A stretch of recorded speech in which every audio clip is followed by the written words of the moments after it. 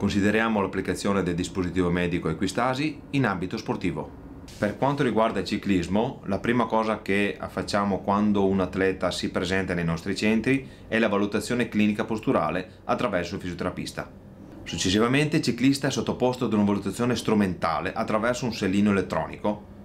Il sellino è dotato di 52 sensori piezoresistenti e trasmetteranno il dato via wireless, quindi non abbiamo vincolo nel movimento.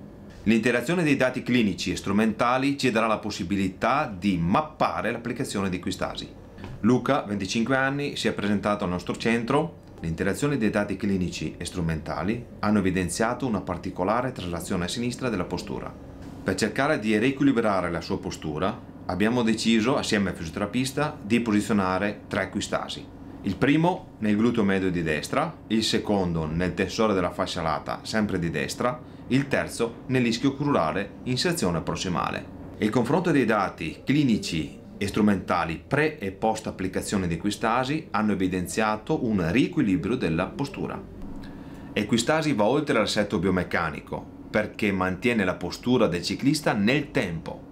Luca utilizzerà il dispositivo giornalmente e i miglioramenti verranno monitorati dal fisioterapista e dal tecnico.